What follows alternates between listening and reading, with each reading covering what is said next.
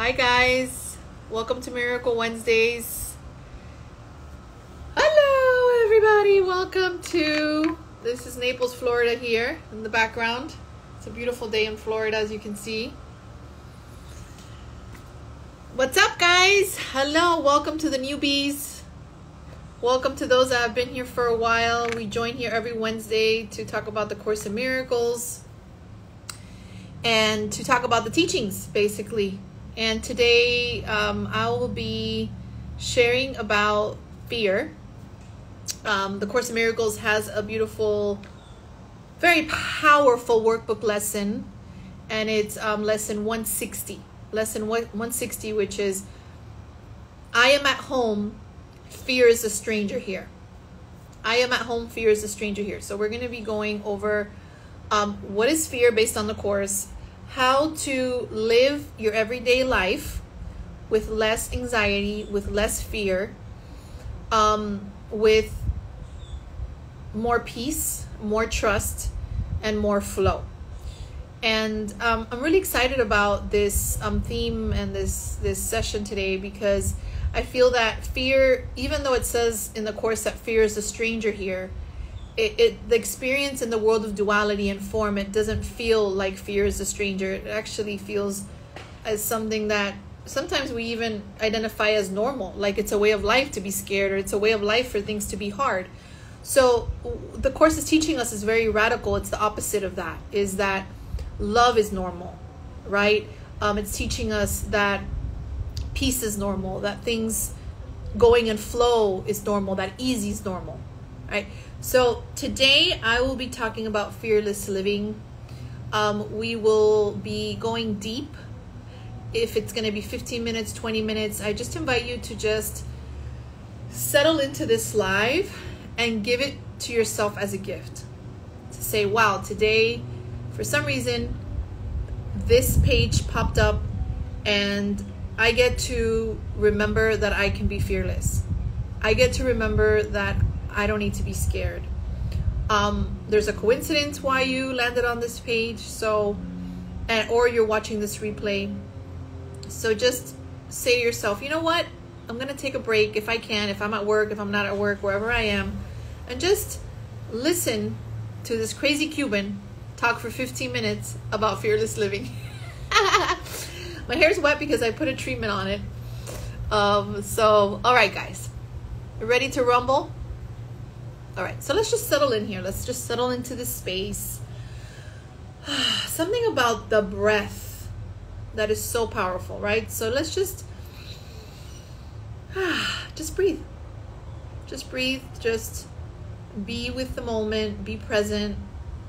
It says on my phone, I'm live. Focus on my clouds, focus on my sky. Focus on this moment, presence this is all we got, guys. This moment. And in this moment is where we get to release the fear. This moment is where we get to remember our Father again. Remember that we've never left the mind of God. This is the moment we get to remember that. This is all. This is what we got. All right. So, lesson 160 before I get into that, for you guys that are new, um, I host this page here, the Course Miracles, and I'm here every week on Wednesday to do Miracle Wednesdays, and I talk about different themes. If you have a look at my YouTube channel, which is in my bio, in my link tree, you'll be able to see all the other videos I've done in the past, and also you'll have access to my Course in Miracles meditations and Course in Miracles talks. So if you are new to the course, if you are just starting the course, or you've been doing it for a while, um, I have incredible resources available to you to support you in your Course in Miracles journey. So check out my website, mariafelipe.org, and you can find it in my link in bio. Okay? So that's a little, a little one, two, three, four, five, six, seven, eight about me. All right. So lesson 160 says, I am at home, fear is the stranger here. So it's saying that fear is a stranger. Who's a stranger? Fear is a stranger. In this world of duality, the Course of Miracles says that the, the, the world began when the Son of God forgot to laugh. That's how it describes it. So it's like we, we forgot who we are, then automatically there's this world of duality that gets created. Hence the experiences that we become separate and there's a world of duality. Now what does that mean? Duality means that there is there's there's dual. It's dual. So it's not oneness. The Course of Miracles is bringing us back to our oneness, but the experience that we're having in this dream, the Course of Miracles calls this the dream, it calls this the illusion. There's the experience of duality the experience of love and the experience of fear, the experience of that I am a body, that I'm not spirit, that I'm a body. You know, that's what the ego tells me. That's what duality tells me is that I'm a body. And and that eventually, you know, this body is going to decay and I'm gonna die. You know, that's just what what we're taught. That's what the ego is. The world of duality is that we're a body and we're gonna die, and that's that's our future. Pretty much in a nutshell. Hi Edie, welcome, welcome. I also saw Pamela creep up there earlier. Thank you guys. I'm so happy for my sisters being here. Um, so I am at home, fear is a stranger here. It appears in the world of form that fear is very common. It's something to us that it doesn't feel like a stranger. It feels like we know fear very, very well, right? We experience fear you know, every day or we experience fear every once in a while. And what the Course is telling us is that fear is a stranger here, but in the world of form, it appears that fear is our neighbor. Fear is something that we are we know very well, very close to home, something that we experience all the time in our mind, something that takes away our peace. But what the Course is teaching us is actually is is, is that is that fear is a stranger here. That's the truth and love is what's really real. Okay, again, so fear is a stranger here in the world of illusion. We have to actually, fear is not the stranger in the world of illusion. That's what we need to realize. That in the world of illusion, fear feels very real, but the truth is, is that it is not the truth in the world of illusion. It's not the truth. It's the in the illusion. It feels real, but it's not. Okay. Now, love is all there is. That's what the course is teaching us. So love is all there is. Is it says here in, in paragraph one, fear is a stranger to the ways of love. So to the ways of love, fear is a stranger. Identify with fear, and you will be a stranger to yourself. Okay? Identify with the fear, and you'll be a stranger to yourself. So when you identify with the fear, you begin to lose yourself you begin to fall asleep to your true nature. You begin to forget that you are love. You forget who you are when you believe in the fear, when you believe and you fall asleep to yourself. Okay, it says here identify with the fear and you will be a stranger to yourself. Okay, so how does that happen? Why are we fearful? What's going on that we are fearful? What's happening? What's happening? Hi, Renee. Welcome, sweetheart. why are we fearful? All right. The number one reason why we're fearful, the Course of Miracles would say, is because we feel guilty because we separated from our Father. Like we, there's an unconscious guilt. The Son of God forgot to laugh. Somehow we feel very guilty because we separated from our source. What's happening is, is that it's just an illusion. We never really separated from our source. We're just sleeping. We're just in the illusion, but we've never separated from God. And that's why the Course of Miracles says we're never upset for the reason we think. Okay? We're never upset for the reason we think because the reason that we're actually upset about anything in this life, the reason that we experience fear in this life, is because unconsciously we forgot who our Father is. We think that we have separated from God. we feel guilty. All right? That's the unconscious guilt that's going on. It's very unconscious, but it's what it is. It's how we experience it. So that's number one. So in complicated terms, that's what fear is. Okay, I'm trying to make it as easy as I can, but that's what the fear is. That's why we're fearful.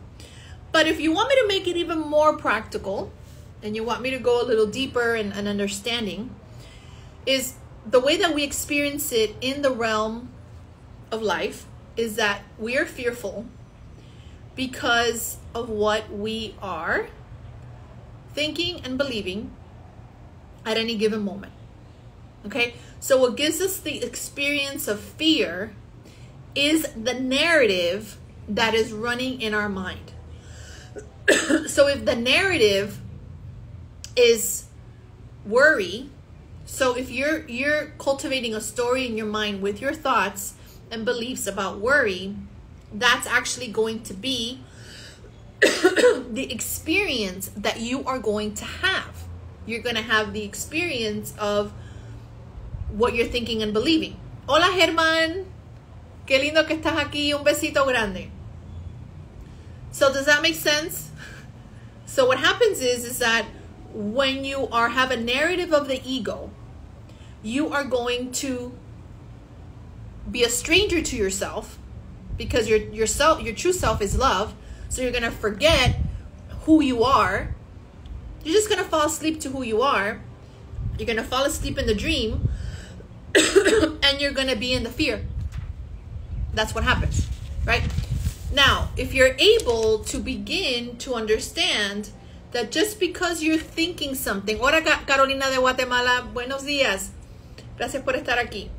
So when you're thinking something and and you're being fearful or your your narrative is the belief and fear, then what happens is you're going to experience the fearful dream.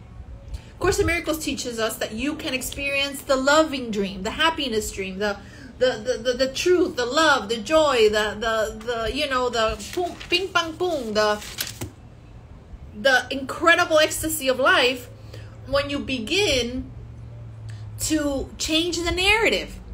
So instead of the narrative of fear, you begin to have the narrative of love. And what is the narrative of love? The narrative of love comes from a space. I have like peanut butter stuck in my throat still from my breakfast. The narrative of love is basically releasing the judgment of your perception. So when you release the judgments of your perception, when your narrative changes, you let go of the judgments. You begin to take responsibility for your life. You begin to not be a victim of your circumstances. You begin to understand that everything begins and ends with you, which the Course calls, when you don't have judgment, the Course calls that forgiveness. That's true forgiveness. you're being forgiving.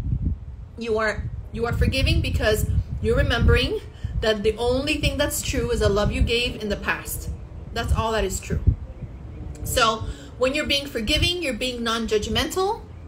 When you're being non-judgmental, you're letting go of the judgment. You don't personalize and then you understand that you are not a victim of your circumstances. You understand that your perceptions the way that you perceive perceive things is up to you.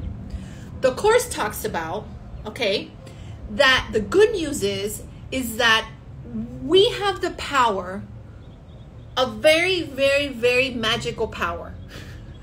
The course doesn't call it a magical power. I'm calling it a magical power. I'm kind of getting into disneyland disney disney movies right now but there's like this thing that's coming to my mind that we have such an incredible power that is is our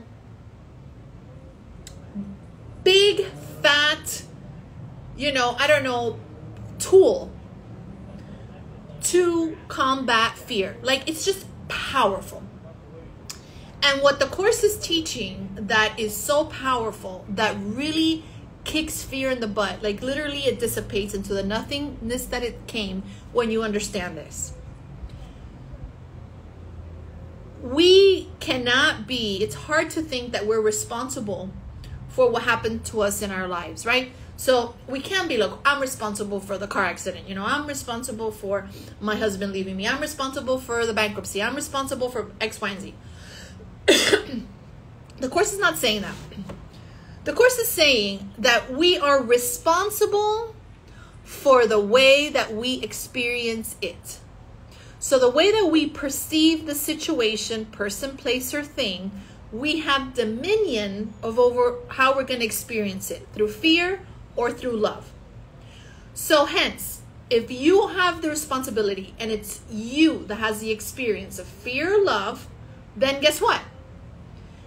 You get to kick fear in the butt because if you understand that I get to perceive this and I get to say if this is gonna hurt me or not, that is a fear buster.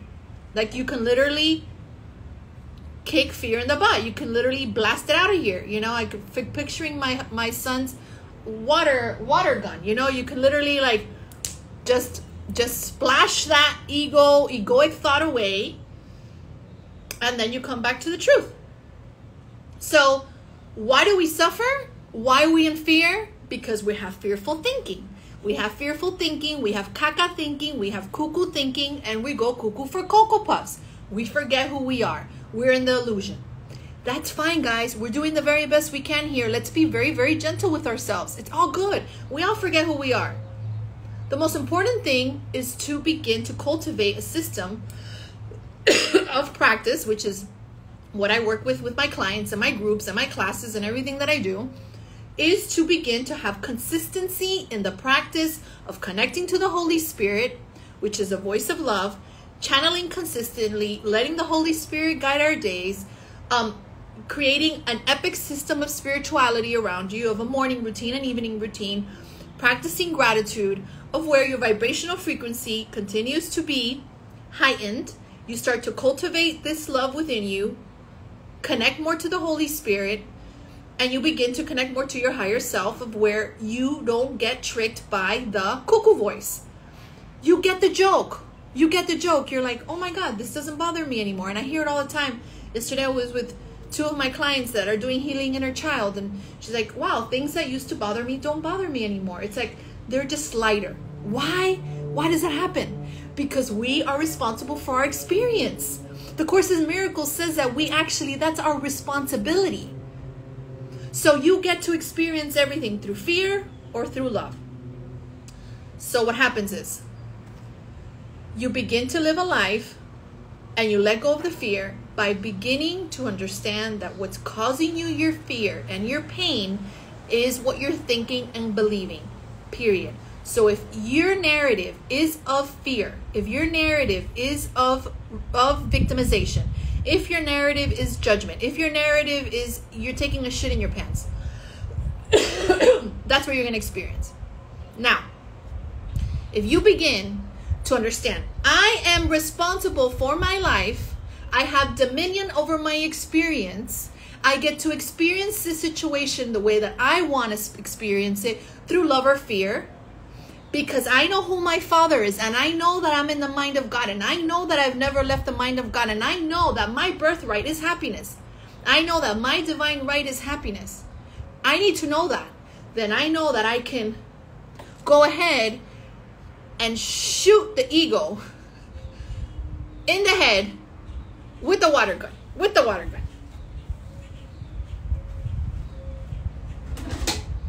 Here we go. I get to give the water to the ego. this is my son's water gun. And literally, just let it know. Listen, thank you for your teachings, but you know what? I'm ready to play now. Like I'm I'm done. Like let me just spray you with some water. Let's lighten things up. You know? So that's the way you can see it. It's like you can squelch squelch the ego. Now, the most important thing is ego's not the enemy.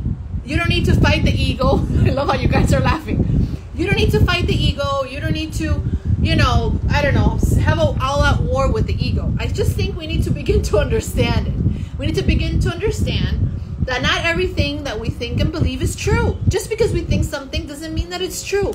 Half the time it is not. But anything that's not of love isn't true. Anything that is not of love is an illusion anything that's making you feel like caca is shit. It's not it's not contributing to you, which is fine, but we're learning that. So what's good is to start to be get to begin to question your ego with which Byron Katie, the teacher Byron Katie with the work epic epic work. I love Byron Katie. I love the work. It's like forgiveness on steroids. I feel like it's the course in miracles in action is that you question you question your thoughts. You question what you're thinking and believing with Holy Spirit. Okay? Because what you're thinking and believing about yourself and others is what brings in the fear. Okay? So, how do we let go of fear? We begin to understand that fear is a stranger here. Fear is a stranger here. We are at home. We are at home. We're at home because it's our divine right to be at home. It's our divine right to be in peace with God. It's our divine right to understand who our Father is. Okay? Then when the ego comes in, you are ready, ready for action. You're like, wait a second, I get the joke. I get the joke. I get that. I'm falling asleep to I am. I think I'm in the illusion. Oh my goodness, I'm falling asleep. But wait a second. I am love. I am peace. I am happiness. God's will for me is happiness. And then you tell the ego, hasta la vista, baby. I think I'm gonna leave it there because if not, it is gonna get even funnier and uh, a little bit crazy. But hope you guys get the joke. I hope you guys understood this lesson for today. I try to make it light. I try to make it fun. Um, next Friday, not this Friday, but next Friday, I have my ACIM class for the. I love how Lina's. Hola, Lina. I love that Lina's here. Renee's laughing. I know. I just made it. Was making funny fun of it. Next Friday we have um, the ACIM class of the month. Um, Mina, Pam, you guys are killing me. Um, ACIM class next week. Fearless Living. Fearless Living next Friday. Um, it's low cost, high value. Check out my link in Linktree. Next Friday at 12 p.m. Eastern is the ACIM class. It's going to be called Fearless Living. I'll be going over um, everything and everything to do with letting go of fear, as well as a touchstone meditation. The touchstone meditation, I will need you guys, if you're going to be part of the class, to bring a touchstone. So that could be a crystal, that could be just something small enough to be able that you can use to connect to Holy Spirit when you're channeling, when you're meditating. We're going to be doing a touchstone meditation. So that's going to be next Friday, um, Fearless Living and Meditation. Um, and it will be on replay. So if you can't be there at 12 p.m., don't worry about it. Um, you can always watch the replay. Okay? Guys, thank you for joining me. Um, join me every Wednesday here for a new class. I'm really excited. This month um, has been amazing. Um, my husband and I are gonna celebrate our five year wedding anniversary this Friday, so we're really excited. And then you guys know Sunday's Mother's Day, so a lot of celebrations coming up. And I just wanna wish all you mamas a happy Mother's Day, and I wanna send all of you guys a lot of love. And um, just remember, the ego is not your amigo. I love you guys. Have a beautiful day filled with love and light. Until next time.